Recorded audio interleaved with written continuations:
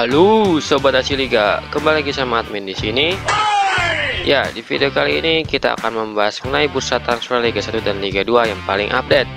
Ada yang rumor dan juga ada yang resmi. Oke, langsung aja kita bahas, bos. Oke, yang pertama ada kiper dari Arema FC yang dikabarkan akan merapat ke Persela Lamongan, yaitu Utam Rusdiana.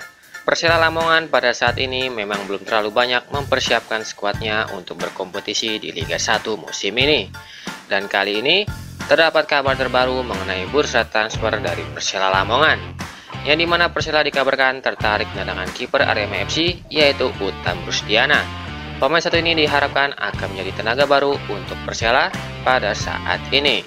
Saat ini pemain tersebut bermain di Arema FC, berusia 26 tahun, berposisi sebagai kiper, dan memiliki tinggi 182 cm, nilai harga pasar main ini sebesar 1,72 miliar rupiah.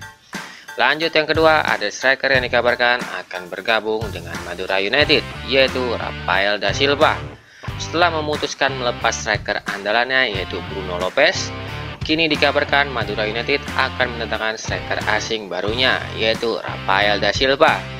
Pemain asing tersebut dikabarkan sudah berada di Jakarta untuk menjalani karantina mandiri. Saat ini pemain tersebut bermain di Liga Irak bersama Al Sorta SC. Berusia 30 tahun, berposisi sebagai striker, biasa bermain di sayap kiri ataupun kanan dan memiliki tinggi 182 cm, nilai harga pasar main ini sebesar 5,21 miliar rupiah.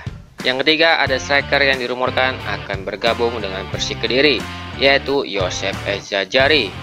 Persik Kediri mulai bergerak pada bursa transfer kali ini dan kini Persik Kediri dikaitkan dengan striker blasteran Spanyol Maroko itu yaitu Josep Ejejari dan diharapkan striker baru ini dapat menjadi ujung tombak yang ngeri-ngeri sedap untuk mengarungi Liga 1 musim ini. Berdasarkan data transfer market, saat ini pemain tersebut bermain Liga Andorra bersama CE Charoy. Berposisi sebagai striker, dan memiliki tinggi 185 cm nilai harga pasar main ini sebesar 1,74 miliar rupiah. Selanjutnya yang keempat ada Ali Sesai.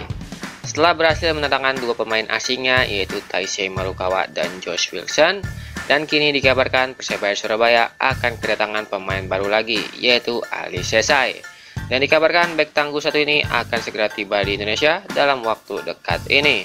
Saat ini pemain tersebut bermain di Liga Azerbaijan bersama FK Sabail.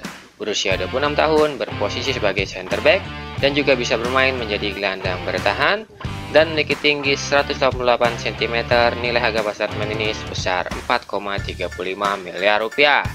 Dan yang terakhir ada Egi Maulana. Persija Jakarta memang sedang mencari gelandang atau playmaker yang berkualitas untuk di skuadnya. Dan dikabarkan kontrak Egi bersama timnya di Liga Polandia sudah habis. Dan saat ini pemain tersebut sangat bimbang ingin melanjutkan karir di luar negeri atau harus kembali ke Indonesia. Dan kini Egi Maulana dikait-kaitkan dengan Persija Jakarta. Pasalnya, pada baru-baru ini Egi kedapatan nge-follow akun Instagram milik Persija Jakarta. Saat ini pemain tersebut berusia 20 tahun, berposisi sebagai gelandang serang dan juga bisa bermain menjadi second striker ataupun sayap kiri dan memiliki tinggi 168 cm nilai harga pasar main ini sebesar 2,61 miliar rupiah. Sangat menarik untuk melihat pemain ini pada bursa transfer kali ini. Bagaimana tanggapan kalian mengenai pemain ini? Silahkan kasih komen kalian di kolom komentar